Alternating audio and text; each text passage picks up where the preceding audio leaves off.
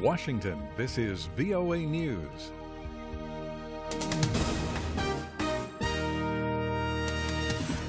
I'm Dave DeForest reporting the Senate considers a surveillance bill. The U.S. Senate has started debating whether to extend its authorization of the country's national security surveillance operation or let it lapse at midnight when a law expires. Lawmakers gathered in Washington just hours after the U.S. intelligence chief warned that terrorists are hoping to take advantage of any halt in the spying effort. A leading U.S. newspaper says the rebel group that seized power in Yemen has at least four U.S. prisoners. The Washington Post reports efforts to secure their release have failed. The paper says Americans are believed to be held at a prison in Sana'a. East African community leaders say Burundi elections should be delayed. Richard Sezibera is the group's Secretary General. The summit concerned at the impasse in Burundi and the need for further dialogue called for a longer postponement of the elections in Burundi for a period not less than one and a half months. A statement following the emergency summit Sunday called on all parties to stop violence. India waited for the start of the annual monsoon season amid a heat wave that has killed more than 2,200 people across the country. Showers and thunderstorms in parts of southern India Sunday brought some much needed relief. The International Monetary Fund has lowered its growth forecast for Ukraine's economy to minus 9%. The IMF says progress toward an agreement with Ukraine on reforms could clear the way for further financial help. The negative growth projection is down from a 5% estimate in April. This is VOA News. Five people were killed near the Libyan city of Misrata on Sunday in a suicide bombing claimed by Islamic State militants.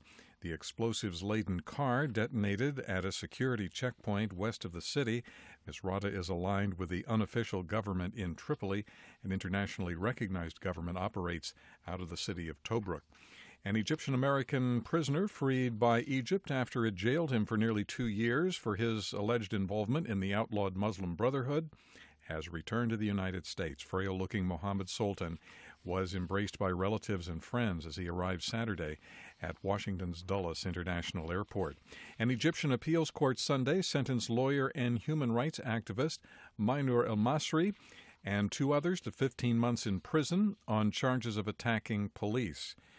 She and her co defendants originally were given two year jail terms. They appealed and lost but were given reduced sentences. Beau Biden, the 46 year old former Delaware State Attorney General, died Saturday of brain cancer. He was the oldest son of Vice President Joe Biden. Mitch McConnell is the majority leader in the Senate, where Vice President Biden was the presiding officer. Beau Biden was known to many as a dedicated public servant, a loving father of two, and a devoted partner to the woman he loved, Haley. The vice president said the entire Biden family is saddened beyond words. Beau Biden is survived by his wife and two children. U.S. Secretary of State John Kerry will remain in a Swiss hospital overnight after breaking his leg in a bicycle accident on Sunday. Kerry is hospitalized in Geneva in stable condition. Kerry, who fractured his femur, will receive further treatment in Boston. He was in Switzerland for talks with Iranian Foreign Minister Mohammad Javad Zarif. Thousands of Nepalese children affected by last month's earthquake have returned to school classrooms.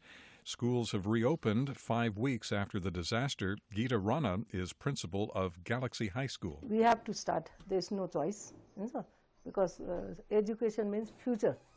If you don't start now, even it's going to affect your futures. So that's what we planning to start the school. Two British banks say they have launched internal reviews into how allegedly corrupt payments were funneled through their institutions in the current football bribery scandal. Barclays and Standard Chartered were among dozens of banks mentioned in the U.S. indictment last week. No banks have been charged with wrongdoing in the case.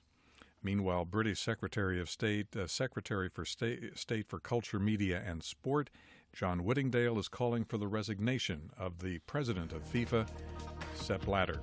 I'm Dave DeForest in Washington. That's the latest world news from VOA.